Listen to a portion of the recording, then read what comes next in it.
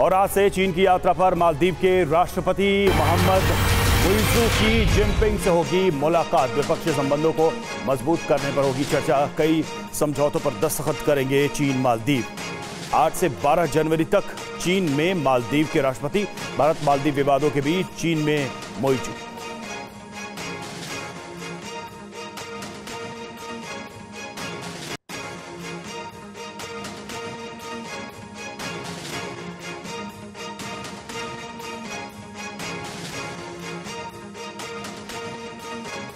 तो आज से चीन की यात्रा पर मालदीव के राष्ट्रपति मोहम्मद मुइजू की जिनपिंग से होगी मुलाकात। द्विपक्षीय संबंधों को मज़बूत करने पर होगी चर्चा।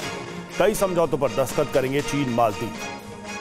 आठ से 12 जनवरी तक चीन में मालदीव के राष्ट्रपति, भारत मालदीव विवादों के बीच चीन में मुइजू।